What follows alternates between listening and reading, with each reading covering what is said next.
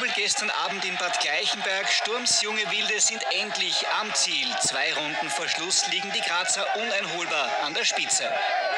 Wir sind überglücklich, glaube ich, die ganze Mannschaft gemeinsam. Haben wir uns das erarbeitet und, glaube ich, auch verdient, schlussendlich. Und dass wir es zwei Runden vorher äh, finalisieren, ist auch noch mal ein i-Tüpfelchen und eine Kirsche auf der Sahne, wie man so sagt.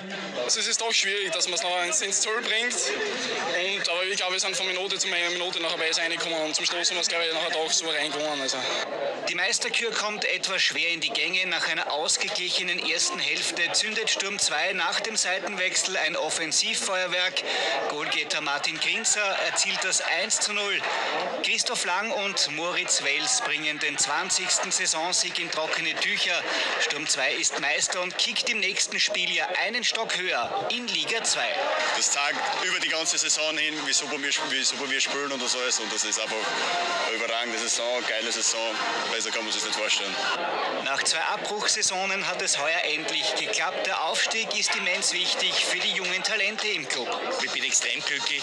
Es ist ein großes Ziel insgesamt, was die Weiterentwicklung des Vereines betrifft. Und ich freue mich, dass die Jungen eine größere Bühne haben, wo sie ihr Talent Talent weiterentwickeln können und auch zeigen und beweisen werden. Ich denke mal, dass, dass wir sehr viele Jungs, sehr viele Spieler drinnen haben, die einfach jetzt den nächsten Schritt, den nächsten Entwicklungsschritt machen müssen. Und das natürlich im eigenen Verein dann letztendlich äh, machen zu können, das gibt uns sehr viele Freiräume, Spielräume. Es ist auch wieder eine Stufe höher und dann ist der Schritt zu den Profis nicht mehr ganz so weit. Deswegen glaube ich, war das schon ein ganz wichtiger Schritt, dass wir jetzt in der zweiten Liga sind nächstes Jahr. Damit kommt es im Herbst zumindest zu einem kleinen Stadtderby mit dem GRK. Für den Club ist sogar noch ein Titel möglich. Sturms Frauen treffen in einer Woche im Cupfinale auf St. Pölten.